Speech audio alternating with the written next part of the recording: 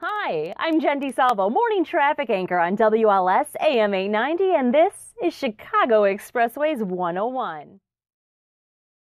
The Edens Expressway is also I 94 and the main major expressway north of the city of Chicago from Northbrook, Illinois.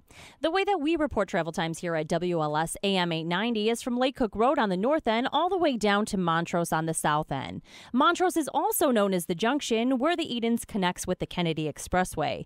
This is an 18 mile stretch and the base times are around 18 minutes in each direction.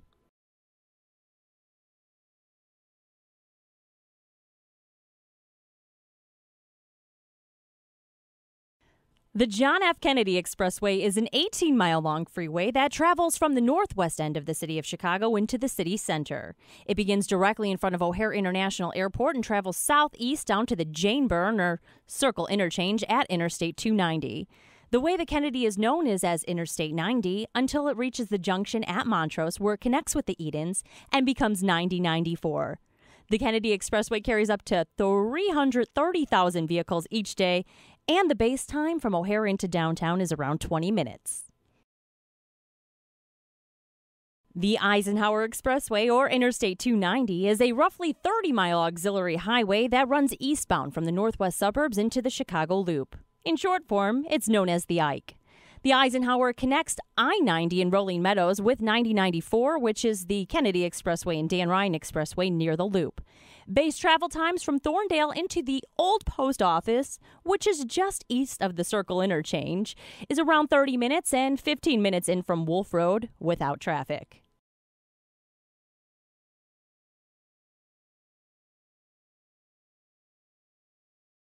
Interstate 55 enters the Chicago metro area as the Stevenson Expressway and provides easy access to downtown Chicago via both the 9094 Dan Ryan Expressway interchange and US 41, which is also Lakeshore Drive at the northern terminus of I 55 near Cermak Road in the lakefront.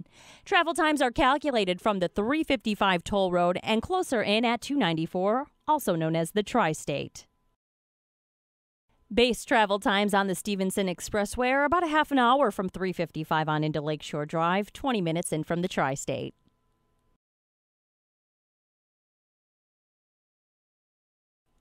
The Dan Ryan Expressway is the freeway that runs on the south side of Chicago. From 95th Street going northbound into the Chicago Loop, it meets at the Jane Byrne Circle interchange with the Kennedy Expressway and the Eisenhower. It's I 94 for the entire stretch from 95th into downtown, which is 12 miles. I 90 does intersect at 66th Street for another 8 miles left of the Dan Ryan. Base travel times from the downtown area out to 95th and back 15 minutes each way. I hope that answered any and all of your questions about the Chicago Expressway systems. Wait, what's that? The tollways.